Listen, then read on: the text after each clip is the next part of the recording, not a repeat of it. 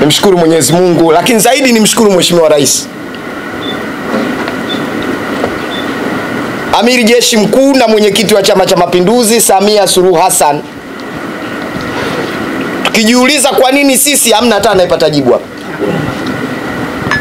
Tujiulize tu kwa nini sisi, toka nchi hii imepata uhuru, toka taifa hili limepata uhuru, tumecheza filamu zote, hatujawahi kuongelewa duniani. Duniani Amerika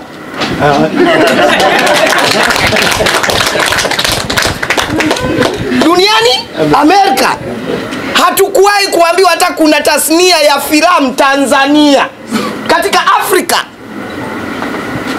Ghana wametamkwa Marekani, Nigeria wametamkwa ta- Marekani. Tanzania huyu mama ndio katutamka juzi.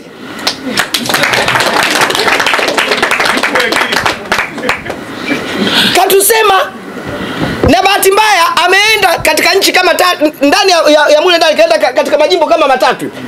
Kaenda New York, mi pale napajua vizuri sana pale Sasa pale New York pale. Kaenda Washington DC eh, una- unanidodosa eh. pale New York pale. Ndio hapo akina Lambo. Ndio kwenye connection ya sinema mama kaupiga pale katutaja zi toka tumepata uhuru hatujawahi kutajwa hivyo. Mama kasema jamani, na wanangu, industry ya filamu Tanzania ni kubwa, njoeni.